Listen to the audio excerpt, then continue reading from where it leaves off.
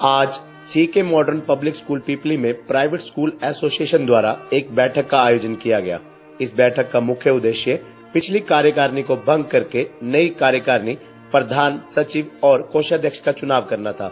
Meeting की शुरुआत पूर्व सचिव विक्रम शर्मा द्वारा की गई। उसके पश्चात सभी सदस्यों की सहमति से पिछली कार्यकारिणी को भंग किया गया और नई कार्यकारिणी का गठन किया गया, जिसमें प्रधान पद के लिए चुनाव करवाया गया और इसमें सोहन लाल को प्रधान चुना गया। वहीं जिला सचिव के लिए उमा शंकर को सर्वसम्मति से चुना गया।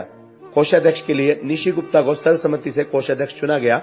चेयरमैन पद के लिए संजीव पांडे, संरक्षक पद के लिए राकेश गेरा, ज्वाइंट सेक्रेटरी सेक्रेटरी के लिए दीपक कुमार, कानूनी सलाहकार के रूप में राकेश नांदल को चुना गया। इस अवसर पर पूर्व प्रधान विपिन शर्मा, जिला सचिव विक्रम शर्मा, पंकज अरोड़ा, मेवाराम, विजय मेहता गौरव नारंग, विजय शर्मा मंजीत सिंह, अखिल वर्मा, विजय मेहता, पूजा नारंग, जगमती देवी आदि मौजूद रहे।